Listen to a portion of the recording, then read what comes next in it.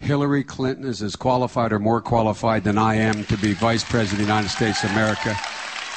Let's get that straight. She's a truly close personal friend. She is qualified to be President of the United States of America. She's easily qualified to be Vice President of the United States of America. And quite frankly, um, it might have been a better pick than me, but she's first rate.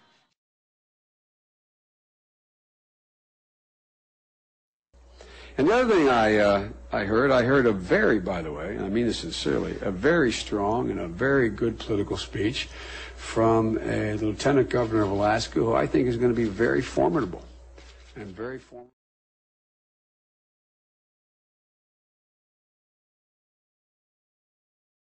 Part of what a leader does is to instill confidence, is demonstrate that he or she knows what they're talking about and communicates to people.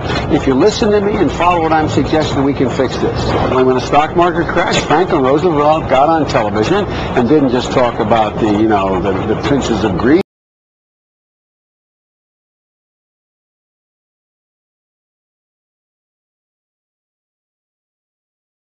Are you disappointed with the tone of the campaign, the lipstick on the pig stuff, and some of the ads? And, and you guys haven't been completely guilt-free, making fun of John McCain's inability to use a computer. I thought that was terrible. Why'd you do it then? I didn't know we did, and if I didn't do it, we'd have never done it. And I don't think Barack, you know, I mean, I just think that was, uh, Did Barack Obama approve that ad? He said he did, right? yeah. The, the answer is I don't. I, I don't think anything was intentional.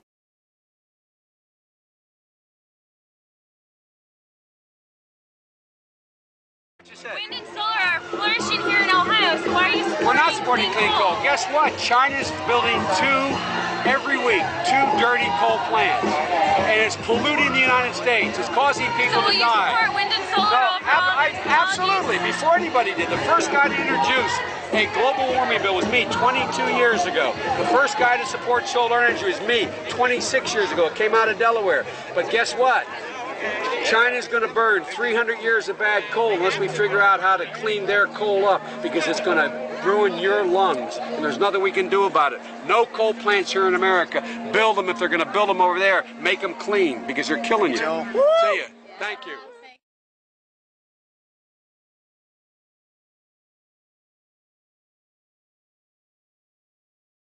Uh, uh, Chuck Graham, state senator's here. Chuck, stand up, Chuck. Let him see you. Oh, God love you. What am I talking about? I tell you what, you're making everybody else stand up, though, pal. Thank you very, very much. I tell you what, stand up for Chuck. Thank you, pal. You can tell I'm new. Good to see you, buddy. Thank you. Thank you.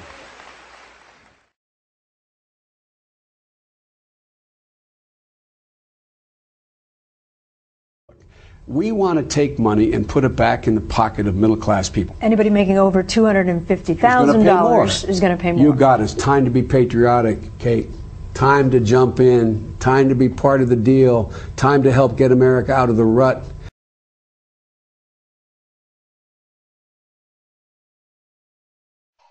The Republican Party and some of the blogs and others on the far right are trying very hard to paint a picture of this man. They're trying the best as they can to mischaracterize who he is and what he stands for. All this stuff about how different Barack Obama is.